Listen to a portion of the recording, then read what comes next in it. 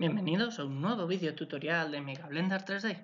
En este caso, como veis, vamos a abordar el tema de la versión de Blender 2.8 Alpha 2. Sí, como veis, Alpha 2, porque aún no estamos en la versión estable. Pero aún así, muchos aventureros que quieran arriesgarse a utilizarla se encuentran algo perdidos. Entonces, como las opciones pensamos que, aunque cambien, no van a cambiar demasiado, queremos ofrecerle una guía para todos aquellos que quieran seguir. Lo primero, agradecer a mis compañeros de la revista Blenderiano, la cual dirijo, toda su atención y trabajo. Eh, tenemos página web nueva que podéis acceder a ella en www.revistablenderiano.org y allí podéis descargaros cada uno de las revistas. Es una revista digital en español sobre Blender con artículos muy interesantes. Y también deciros que también podéis acceder a la página web de Megablender, que es megablender3d.blogspot.com. Y nada, ahí tenéis todos mis vídeos y también están de alguna manera en las páginas de tutoriales, megatrucos y cursos organizados. Empecemos. Bueno, como sabéis, eh, da dolores de cabeza muchas veces el pasar de la 2.79 a la 2.8 y voy a intentar que sea un poco menos doloroso. Para ello vamos a ver el tema de eh, las imágenes de background o imágenes de referencia, más conocidas como background image. Bueno, no existe esa opción como existía antes, o sea, si nosotros nos vamos a la vista 1, 3 o la 7, eh, deberíamos tener aquí la opción de Background Image, como estaba antes, en el menú que se abre con la tecla M. Ya no está.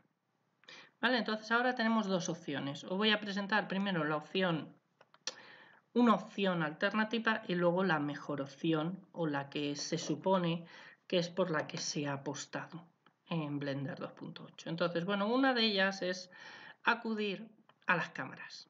Entonces, si nosotros cogemos una cámara como veis y yo la pongo, vamos a desactivarlo porque si yo pongo una cámara y esa cámara la pongo directamente eh, que enfoque al plano XY y le pongo un fondo a un background image a la cámara, pues tendré un poco lo que tenía antes. No es exactamente lo mismo porque he de ir manejando la cámara. Por ejemplo, vamos a ver para que veáis cómo hacerlo. Yo voy a seleccionar mi objeto, con el punto del bloque numérico voy a él, me voy a la vista 7 y en la vista es 7 voy a seleccionar control al 0 del bloque numérico.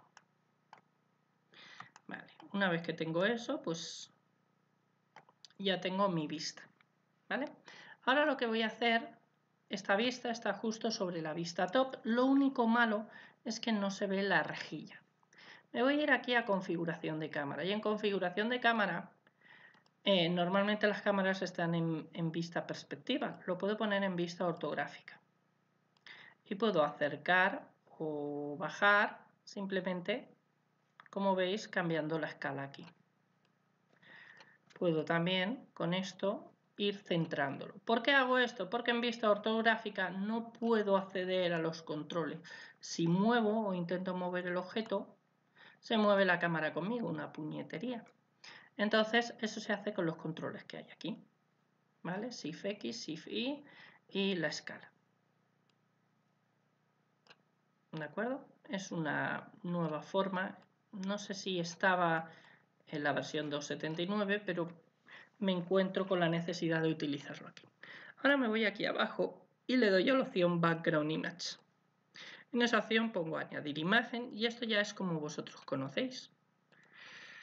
Eh, voy a seleccionar esta imagen y como ya vosotros sabéis de aquí, eh, puedo ponerlo back, front y aquí puedo ir cambiando la imagen a izquierda o a derecha. Flip horizontal, como veis, flip, puedo cambiarlo y luego puedo rotar la imagen.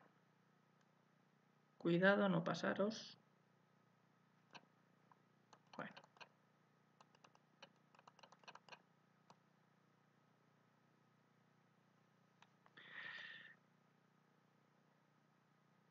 Mm, ¿Vale? No sé por qué. Así, más o menos. Cuidado con la escala. Si movéis la escala manualmente, la imagen se va. Es un fallo que tiene. Entonces lo que hemos de hacer es pincharle y cambiar el valor. Con esto podemos más o menos adaptarnos. Entonces ahora ya nada, ya modelamos. Nos vamos al modo objeto, seleccionamos y ya podemos adaptar. Como tengo un cubo, ¿vale? Esto lo suyo es que fuera un plano para poder modelar. Entonces, bueno, añado un plano, que no sé dónde está el puñetero plano. Voy a hacer mayúsculas S y voy a hacer eh, selección a cursor. Vale, ahí. Y ahora F6 no, pues vamos a buscar el plano. ¿Dónde está? Como veis, el plano está por encima de mi cámara. Bueno, ya tengo el plano, ¿vale? Entonces nada, nos vamos al modo edición y desde aquí ya fácilmente ya podemos modelar con referencias. Sabiendo que estoy en el plano XY. Y por supuesto que he puesto vale, e, Z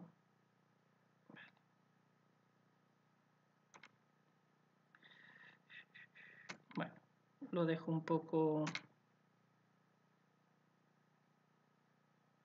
Bueno, no es la mejor manera y si vemos realmente lo he puesto todo inclinado, ¿vale?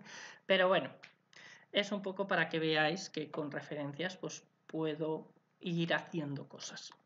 Vale, una vez que tengo esto, esto es en una vista. Si yo quisiera tener más vistas, una manera que se me ha ocurrido de poder tenerlo es, fijaros, yo tengo esta cámara. Ahora yo esta cámara puedo copiarla, me vengo aquí, puedo girarla menos 90 grados. Y fijaros, a ver,